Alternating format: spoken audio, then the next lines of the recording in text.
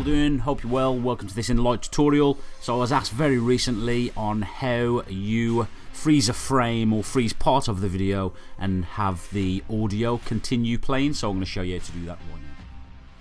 So it's a really really simple process in Enlight. Um, there's quite a lot of um, new functionality recently so all I'm going to do is, is I'm going to scroll through my timeline to where I want to freeze the frame or freeze the picture highlight the video part and then select this cut frame.